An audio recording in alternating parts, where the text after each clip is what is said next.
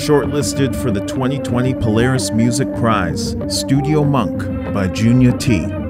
Ain't no place like home, ain't no feeling like love. One half of the Toronto rap duo Smash Brothers, Junia-T turned heads with his solo album I See You in 2014. The Critical Darling featured two appearances from a young remix project student, Jessie Reyez. It was the beginning of a long collaboration. When Figures made Reyez a household name, she tapped Junia-T as her tour DJ. Let's not even think about it. You don't even know you still do. With I See You a few years behind him, Junia-T was about ready to walk away from music when a collab session run by another remix project graduate, Addy Papa, reinvigorated him and set him on the path to recording Studio Monk.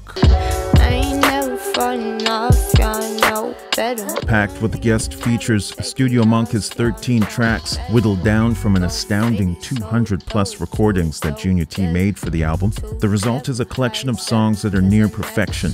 The album dropped in January, but it's not uncommon to hear it already referred to as a classic.